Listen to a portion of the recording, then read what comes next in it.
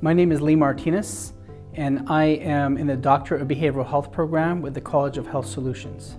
I am a licensed psychotherapist, so I started on the clinical track, but I switched halfway through and have been on the management track. The program is really designed to help get us ready to transform healthcare delivery, and that's really what I want to be able to do. And because I work for a large company in Arizona, I really am in a position to be able to affect healthcare policy and delivery systems.